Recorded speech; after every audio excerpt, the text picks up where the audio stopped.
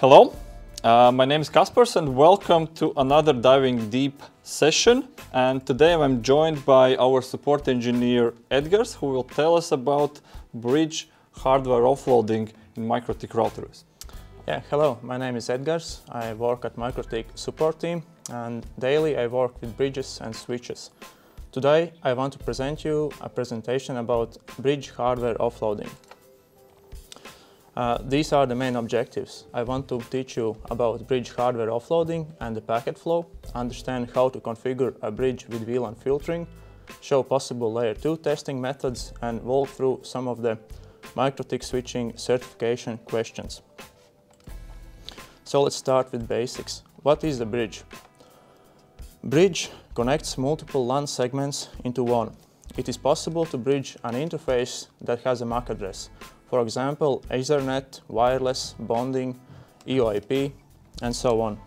Bridges can only forward packets by layer 2 MAC addresses. It doesn't look at IP headers. Although you can still configure an IP address on the bridge and route traffic through them. Yeah, but how does the bridge know where to send the packet? That's a great question. Uh, bridges, uh, when receive packets, they look at source MAC, address, source MAC addresses and if the source MAC address is new, it will store it in the host table. It is also sometimes called forwarding database or FDB. Uh, this table can be used afterwards to forward unicast packets. In case Bridge, Bridge doesn't know how to send the packet or the host is missing, the Bridge will flood the packet to the all ports. Uh, okay, can you tell us more about the unicast, multicast, broadcast, all these sure. types? Uh, these are the main traffic types. Unicast means that traffic is sent from one host to another. Uh, multicast means that one host is sending packets to multiple hosts and broadcast means that one host is sending packets to multiple, uh, sorry, to all hosts. All right, uh, so if there are multiple bridges, yes, there might be yeah, a loop, it, right? Sure, um, basically uh, a lot of times you have uh, networks with a lot of bridges and this can cause a problem if you create a loop. Uh, because bridges doesn't use any packet timeout, packet timeout uh, techniques uh, like routers do with time to live. So flooded packets can be actually forwarded in your layer 2 network for a long time and this can create a broadcast storm. It can degrade your network performance or even create a complete network breakdown. To avoid that, Bridges uses spanning tree protocol. It provides the ability to create layer 2 um, loop-free networks. Okay, so now we know a little bit more about the bridges. Uh, can you show us how to configure a bridge in RouterOS? Sure. In this slide, you can see all the main bridge commands. First, you need to add a bridge interface. Then you can add bridge ports. These ports can be all the interfaces with MAC address if you don't need to spanning, if you don't want to enable spanning tree, you can disable it with protocol mode none. And you can also disable spanning tree on individual ports with edge setting. And to see uh, all the learn hosts, you can use host print command. Uh, okay, so now we know also that part. Uh, let's move on further. Uh, what is the bridge hardware offload? A great question. Uh, in RouterOS, there are possible uh, two bridge types, the software bridge and the hardware bridge. Software bridge is when packets are forwarded using the CPU. All RouterOS devices support software bridge. However, most of the devices also contains uh, specialized hardware called switch chip or switch ASIC and this allows offloading some of the bridge functions like packet forward, VLAN filtering to this specialized hardware without consuming any CPU resources. And this can be done at wire speeds. In RouterOS, we have named this function bridge hardware offload. And different MikroTik devices have different switch chips and each switch chip can have different features. Okay, so here in this slide you also see the block diagram from, uh, from one of our devices. Yeah? And so these block diagrams can actually show you quite a lot about how, how these uh, devices work and how it's all interconnected. And these block diagrams are available for each of our products on the products page, yeah? mikrotik.com slash product. And uh, Well, now we know what the hardware offloading is, but uh, how one can know if the hardware offloading is working actually? Uh, it's quite easy. You just need to go to the bridge port uh, settings and see for the H flag. If the bridge ports have H flag, it means uh, hardware offloading is working. But sometimes you will not see this H flag, and it can mean it can mean that some features like VLAN filtering or IGMP snooping is disabling hardware offload on your particular device. Okay, so different devices have different features. Uh, could you tell us more about what are the main differences between different uh, switch products? Sure. Uh, in MikroTik we have a lot of switches and we can group them in four big categories. Uh, the first one is basic switch chips. Uh, these switch chips are included in most uh, small office, home office routers, like this one, RB4011. Uh, you get basic port switching in the bridge menu. Also, some switches uh, have VLAN filtering, sorry, uh, VLAN uh, support in the switch menu. And recently we have added hardware VLAN support for some of the switches. For example, this one, uh, RB4011 and RB5009. And uh, this uh, hardware offloading is available in RouterOS version 7. The next category is CRS 100 and 200 series. These devices are designed mainly for switching. Uh, you can see uh, this one. Uh, this is uh, CRS 112. Uh, these switches support advanced features like VLANs, ACL, quality of service, mirroring, traffic isolation. You also get more fine-tuning configuration options. For example, you can modify uh, VLAN headers on ingress and egress ports. However, these switches can be difficult to configure because all the available switching options. Uh, you can port switching, uh, the port switching is available in the bridge menu and all the switch features are available in the switch menu. Um, the next one is CRS 300 series. These devices are also designed mainly for switching. Hardware offloading works together with bridge features like VLAN filtering, MSTP, bonding, IGMP, and DHCP snooping. Uh, a CRS 300 example is this switch, and yeah, and most configuration is done in interface bridge menu. Uh, these switches are also easier to configure because uh, software bridge and hardware bridge configuration is the same. You also get dual boot feature. Uh, these devices can be booted in RouterOS and SwitchOS. And these devices are also having new capabilities. For example, layer 3 hardware offloading, multi-chassis link aggregation, and bridge controller and extender. Uh, yeah, finally we have CSS series. Uh, these devices are also designed for switching, um, but uh, you only get SwitchOS. SwitchOS can be configured only using your web browser. And these devices have switching features like VLANs, ACL, link aggregation, IGMP snooping. Um, okay, so thank you about uh, explaining differences between different uh, switch groups. Um, I've sometimes tinkered around with the hardware offloading and uh, well, sometimes when I enable some feature, it stops working. What, or, yeah, what, what's with that? Yeah, basically uh, in this table, you can see the switch chips have different set of features. Sometimes if you enable some feature like VLAN filtering, it will disable hardware offloading. Uh, so before uh, buying your device, check the supported features for each switch chip in the bridge manual. Also, some switches still support VLANs and you can do that in the switch menu. Okay, um, what about the bridge filter rules? Sometimes they don't work. Um, sure. Um, this is an overview when we add bridge hardware offloading to the existing RouterOS packet flow. Bridge hardware offloading takes place before the CPU, so packets that are forwarded by the switch can bypass tasks like bridge forward, bridge filters, and even sniffer and traffic control. Uh, okay, and uh, how can the switch uh, send packets to the CPU? Uh, yeah, to do that, uh, we need to zoom in into the switching decision block. There you can find a few new elements and logic gates.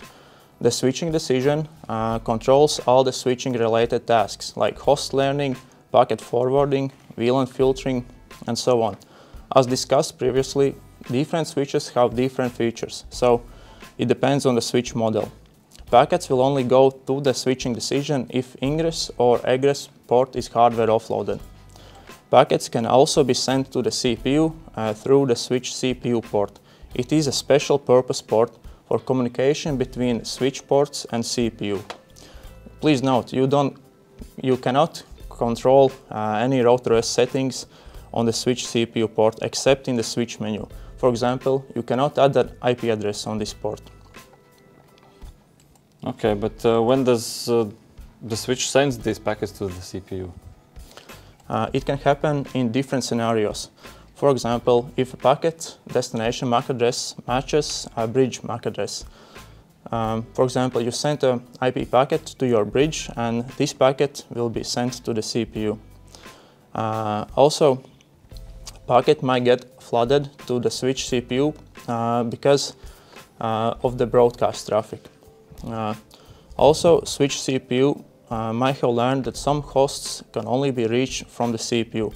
For example, if you connect uh, in the bridge hardware offloaded interfaces and non-hardware offloaded interfaces, such as wireless. Also, some devices contains two switch chips, and to forward packets between switch chips, uh, you only can send that through the CPU. Like 4011, yeah? Yeah, that's right. And uh, there are two last scenarios a packet can be intentionally copied and sent to the switch CPU. And the last one, a packet is triggered by switch configuration. For example, you enable IGMP snooping or DHCP snooping, then these packets will be sent to the CPU.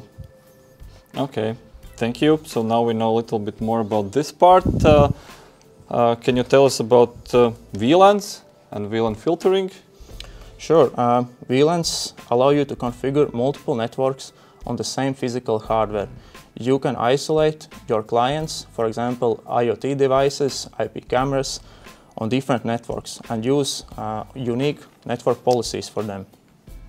VLAN itself is only a 4-byte header and it is inserted in layer 2 packets. It contains a VLAN ID and when a bridge or a router receives these packets, uh, they can recognize the VLAN ID and make forwarding decisions. Okay, and uh, VLAN bridge VLAN filtering, uh, what does this feature do? Uh, with bridge VLAN filtering, uh, you provide VLAN awareness uh, to your bridge and you can modify uh, VLAN tags. For example, you can remove or add VLAN tag. the main setting is VLAN filtering. If VLAN filtering is disabled, the bridge ignores all the VLAN tags and it works in shared VLAN learning mode it cannot modify VLAN tags. Turning on VLAN filtering enables all the VLAN related functionality and independent VLAN learning mode.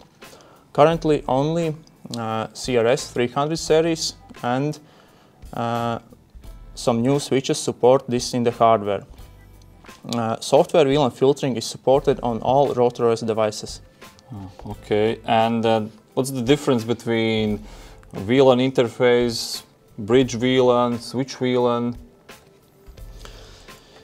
Um, this can be confusing because if you go to RouterOS, you can find VLANs at different places. For example, interface VLAN, bridge VLAN, switch VLAN. Um, but they have some different purposes. For example, interface VLAN is mainly used uh, as a routable interface. You can add IP address and DHCP server and route traffic. Then there is a bridge VLAN. Uh, this is uh, a bridge VLAN table and you can create VLAN entries for your port membership. This table represents what VLANs are allowed for the bridge to forward. Access ports uh, configured with the port VLAN ID or PVID are dynamically added to this table as untagged members. Um, please note you can also add bridge interface itself to this table. And uh, not all switches support VLAN filtering together with hardware offload, but they can still configure through the switch menu. So please check out the switch uh, chip manual for more details. Okay, and um, how do we do on routers? How one can configure VLAN filtering? And is it possible to also create trunk and access ports? Sure, you can create trunk and access ports in RouterOS. Uh, in this slide, you can see all the uh, main VLAN filtering commands. First, uh, you need to add a bridge interface. And please note, we recommend that you don't enable VLAN filtering right away because when you configure bridge ports, you can lose access to your device. And so we also uh, recommend you to use serial port or dedicated management port. So next, you add trunk ports. It is recommended to enable ingress VLAN filtering and only accept tagged packets. Next, you add your access ports. You can set uh, access port default VLAN ID using the pvid setting. It is recommended to enable ingress VLAN filtering and accept only untagged packets. Next, you need to add the VLAN entries uh, for your trunk ports. The untagged access ports will be added dynamically due to port VLAN ID setting. Please note, we can also add bridge interface as a tagged VLAN member. This is useful when creating VLAN management access or inter-VLAN routing. Next, uh, you can add routable VLAN interface on the bridge and add IP address. Last, enable VLAN filtering. You can use VLAN print command to see all the available VLAN entries and host print to see learned MAC addresses and their VLANs. The next slide show a complete configuration uh, how to create a trunk port with three access ports. And this next example show how you can create an inter-VLAN routing configuration. Uh, see the bridge interface is acting like a trunk for the three VLANs. Uh, okay, uh, so next part we move on to the troubleshooting. Yeah, how can you actually troubleshoot all these uh, things? And first, uh, for example, how to detect if packets are even reaching the CPU? The most obvious way is to look at the CPU load. Uh, if you see uh, CPU load is getting 100%, it probably means your CPU is getting the traffic. Also, if your Winbox is getting unresponsive or device drops ping packets, it means uh, that some traffic is still getting to CPU. Um, next, um, sometimes CPU load can be minimal. Um, when you are testing your switch or the traffic is low. Uh, you can also look at Ethernet statistics and see if any interfaces are showing fast path receive or driver receive bytes. You see if these counters increase, the packets are going to the CPU. Um, next, mm, even more useful feature is router sniffer. I personally use sniffer a lot because it can give me quite easily a lot of information for the packets. For example, you can start a quick uh, sniffer mode and see source address, MAC, uh, source and destination address. You can see VLAN ID and priority. You can see IP addresses and so on.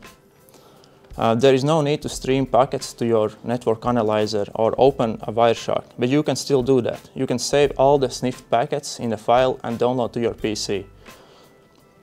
Uh, and please note, uh, the packets that are forwarded by the hardware will not show up in the switch sniffer.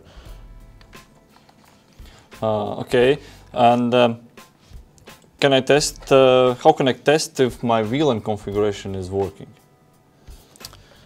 Uh, sure, uh, the most obvious way is to configure an IP address on your devices and ping devices using ping. So However, I like to use Traffic Generator. Uh, Traffic Generator allows you to create uh, packet templates. For example, most of the time I will create a broadcast packet template and start uh, packet uh, traffic generator to my switch. And I can quickly see if the packets are sent to all the interfaces. The nice thing about broadcast is that switch will always try to send the packets to all ports. And you can quickly see uh, if the switch VLAN configuration is correct. Uh, next, I have shared some of my favorite packet template examples. I use multicast, broadcast, uh, sometimes I need to create some random source MAC addresses. And you can even stack VLAN interfaces on top on each other and uh, create broadcast packet template on this uh, QinQ interface. Another useful feature for the traffic generator is the quick mode. Uh, if you start the traffic generator in quick mode, it will show you a lot of useful information. For example, uh, send packets, received packets, and packet loss. Uh, okay, um, how can I protect my CRS uh, device uh, CPU from the rest of the network? Uh, you can do that in a couple of ways. The most common way is to use VLAN filtering and restrict VLAN boundaries. Uh, also, since RouterOS 6.48, uh, you can filter VLANs uh, that are allowed to enter the CPU. Uh, previously, all the flooded traffic entered the CPU, and you, um, you can only filter them by software. This was causing high CPU loads when network consisted of multicast streaming devices. However, now the bridge interface is mapped with the switch CPU port and you can filter traffic on the hardware. Next, you can configure ACL rules uh, to block unnecessary traffic. This can protect your switch and your network. Uh, does, your router, does your router only need to receive PPPoE packets? Simply use ACL rule to block other traffic. Last, if a network loop has been created, a traffic storm can appear. And using CRS switches, you can use storm control to limit broadcast traffic. Uh, then now we can move on to some of your questions. Uh, uh, for example, a question from Kirill. If, if traffic congestion, uh, there is a traffic congestion, one gigabit interface, uh, how priority is assigned? Yeah, switches are using FIFO. Uh, there is no option to change the queue uh, technique. How can I set priority of the CPU switch? Um, currently, there are no option in the switch for the CRS 300 to uh, actually take into consideration the priorities. Uh, the switch will try to forward packets by FIFO and um, you can do this on the CRS 100 and 200 switches but not on the CRS 300. Uh, how can I set priority on the switch CPU? Yeah, you can use uh, access control lists to change the VLAN priority but as I mentioned uh, CRS switches doesn't uh, take into consideration these VLAN priorities. Question from Sorogan. Uh, bridge port PVID versus bridge VLAN untagged port. Why there are two places to set untagged?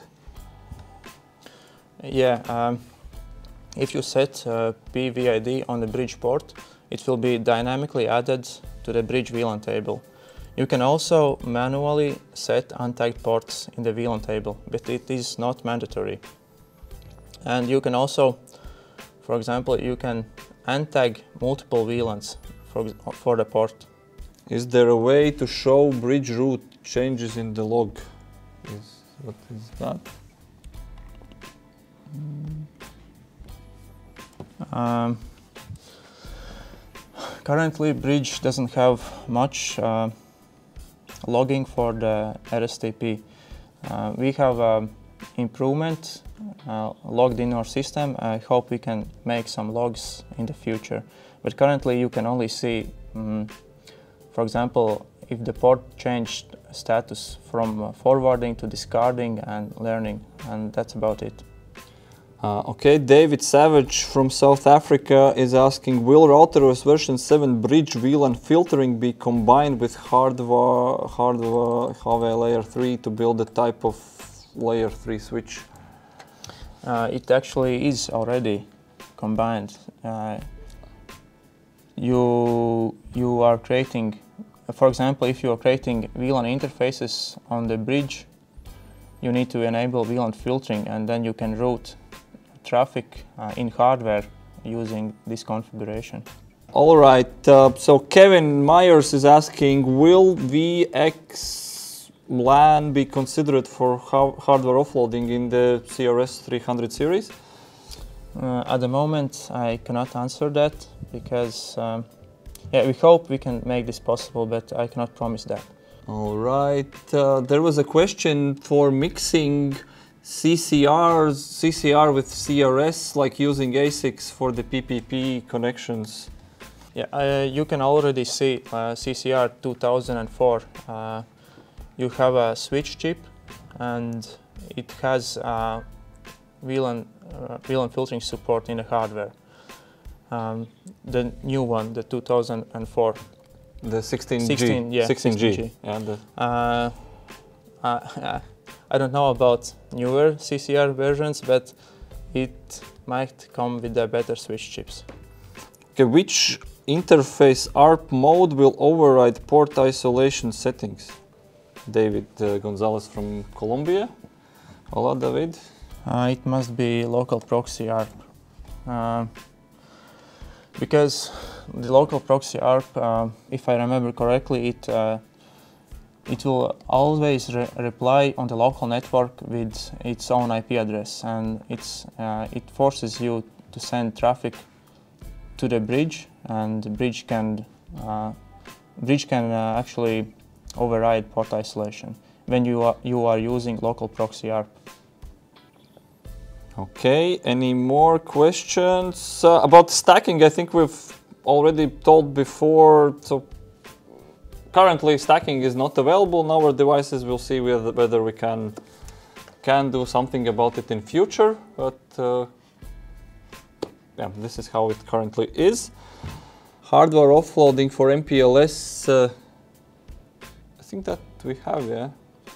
We have um, on the CRS 300 series, but not all of them. 317, I think, yeah. Yeah, 317, and it was a, a limited. Uh, you, there was uh, again, I am not an MPLS guy, but uh, there was uh, an option to hardware offload some of the MPLS functions. Does frame type setting on the bridge port override the frame type settings on bridge interface? Mohamed Razavi from Om- Oman. Uh, actually, I don't know. It doesn't override. Uh, all the port settings are individual, and if you use frame type setting on the bridge interface, it's only for the bridge interface. Remember that bridge interface is also acting like a bridge port, so you can control uh, frame types on the bridge. So does the traffic from ports 1 to 8 uh, going to ports 9 to 16 have to go through the CPU? Yes, that's, that's true.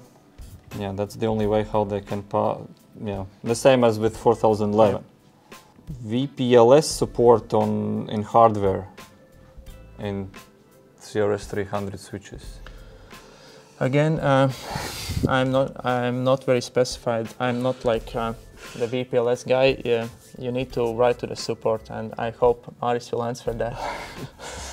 Um, yeah, but as Kevin, as you know, yeah, we, not always we can tell you about, even even if we are looking into that direction, we not always can answer about things that we are not yet shipping. Um, which MikroTik RouterOS bonding transmit hash policy will load balance layer 3 routed traffic most equally? David. Uh, yeah, it uh, it must be layer two and layer three uh, transmit hash. So Ushwila from Philippines uh, is asking why VLAN mode names are not the same when you set on a bridge VLAN, switch OS and others. Uh, yeah. Uh, these settings, mm, basically, they are historical. Um, not uh, every device was created at the same time, and uh, there was these basic switch chips, and we used the strict mode or the secure mode, and they basically didn't. Um, they are not the same. Uh, the names doesn't like we we use different names, but uh, the functions are the same. So it can be confusing. We can try to improve this in future updates.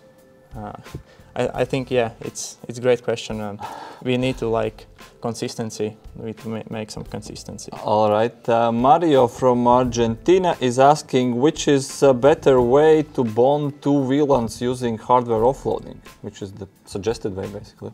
You cannot hardware offload interface VLAN. These are only software interfaces. So that's not an option. But uh, you can use bonding with hardware offloading on the CRS 300 and you can use VLAN filtering with bonding as well. Weather is very cold today in Riga. The summer ended like a week ago. It's like plus 10, plus 15 every day. Uh, do you have a plan for implementing Cisco VTP or only a yeah that one Santiago um, yeah, I don't know about that. Uh, can you please ask this question to the support? Uh, I cannot answer that right away. Okay. Uh, why some switch port settings work without hardware offloaded bridge? Alexander Romanov. It's yeah, it's it could be on some uh, the basic switch chips that some the hardware uh, some of the switch functions can work without the hardware offloading. Um, yeah, but uh, the, the, the, main, the main principle is if you want to use the switch features, you need hardware offload. So uh, it doesn't make sense if you use software interfaces and use the hardware uh, features. Could you explain a little bit more about the port extender and controller bridge? Manuel is asking. Yes. Okay, yeah. Port extender and uh, port controller is similar to the CAPsMAN. You add uh, new switches to your controller and these switches, these interfaces show up on the controller. So you can manage the VLANs or RSTP on this controller. So it's pretty new feature. Uh, I would like to get some uh, updates how it's working and from you guys uh, because a lot of uh, users are actually using it a lot at this moment. Miguel is asking which is the best way to limit traffic for a VLAN interface? I mean, you can use bridge filter rules or firewall rules. Is there any restrictions for ha hardware offload when using 802.1x? Um, no CRS supports uh, this uh, dot one dot, dot one x configuration in hardware offload. Uh, I'm not aware of limitations. GVRP, what is that? Generic VLAN registration protocol. Yeah, we haven't made any progress in RouterOS for that. At least I'm not aware of. Moez is asking, can I configure switch using Python script? Well, through the API, yeah, right? Sure, yeah, you can do so that. we have, so that's already scripting and API. So API can be accessed through Python scripts as well. Yeah. So yes, you can, but well, you have to program it, of course. Newest question: If trunk port connected with other vendor switch, that switch does not allow VLAN one uh, I don't really get the question. Uh, perhaps VLAN 1 is a default VLAN and it must be somehow untagged. Perhaps that's the issue. Uh, also, Bridge is using VLAN 1 for uh, its default VLAN ID. I'm confused from about frame types ingress filtering in Bridge. Is it only for the CPU port and has it has to be enabled on each bridge port? Uh, no, it's it's actually for uh, bridge ports. It's not. It can be used for CPU as well, but uh, you can use it for the bridge ports, and it's an extra filtering options. For example, in the frame types, you can select to accept only tagged packets. For example, if you have trunk port with a couple of VLANs and they only should send tra uh, target, target traffic, you can set uh, admit only tag. and ingress filtering is additional uh, ingress filtering. For example, if you have a port, uh, it accept, uh, if you disable ingress filtering, it can be uh, that this port accept packets for VLANs that it's not a member of. For example, these VLANs can leak into other ports. So it's recommended to enable the ingress filtering. And there are also, like in the bridge manual, um, there are some examples how you can use it. Okay, next question. How to set uh, PVID to dynamically added L2TP in Bridge, Alexander? Uh, this currently is not an option. You, you cannot do that. Uh, I hope we can improve this. Uh, I, I understand you want to use the bridge control protocol and it adds these PPP interfaces but as I remember, there is no option to um, use VLANs for these interfaces. So yeah, it will not work correctly. Okay. Is it correct that frame type setting only works when you enable ingress filtering? Uh, actually, no, you can uh, enable them separately. However, most of the time you will use them together, but you can also only enable frame types or only enable ingress filtering. Okay. Um, Michael is asking, I was uh, having a look at the Mac-based VLAN support and uh, if I understand that config correctly, it looks like it would leak broadcast on egress from multiple VLANs to those ports where, where Mac-based VLAN is used. Is this the case and is there any way to avoid this? this can happen, but uh, uh, yeah, you, I mean, you have one VLAN, one untagged VLAN, and you use the MAC uh, rules uh, or the ACL rules to apply VLAN ID for the correct MAC address. And, and on, on the other direction, uh, switch will send these packets untagged. So you can have these different VLANs uh, on untagged uh, port. That's true, yeah. So the question is, what about microburst when upstream port speed is 10 gig and downstream is 100 meg? This can cause a problem uh, because uh, you have a congestion in your switch. Um, switch only have some finite number of resources. It cannot uh, absorb all the bursts. Uh, currently, you don't have on the CRS, you cannot set uh, quality of service. You uh, you cannot prioritize one traffic on on other traffic. So these micro bursts can cause a packet loss. There are some options you can enable. For example, you can try out flow control. Uh, all right. Uh, one next question. Please explain the differences between egress filtering uh, and ingress filtering. What are the benefits?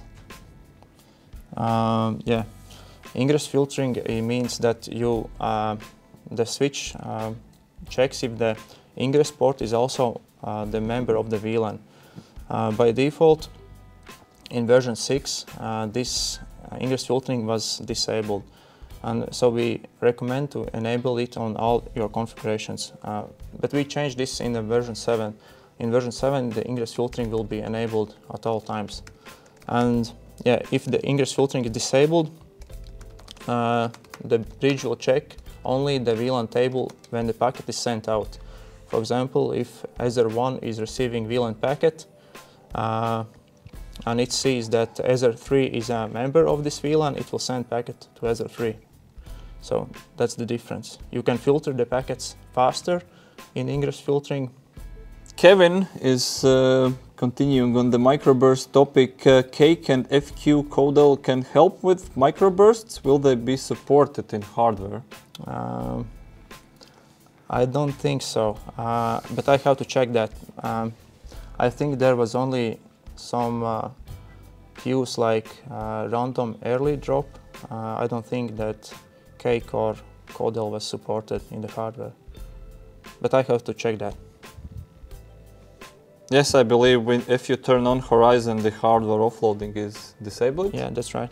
Uh, any plans for MAC address learn limit or lock? Yeah, this is a long asked feature. Uh, I hope it will be implement implemented in some in some day. I, I reported this like two or three years ago. Uh, I'm still waiting on CRS devices, is it better to do VLANs on the switch menu or bridge, taking into account bridge is CPU? Uh, I mean, there are two CRS devices, the 100 and 200. you can do VLANs in the switch menu and they don't support VLAN filtering in hardware. CRS 300 they support VLAN filtering in hardware so it's recommended to use that.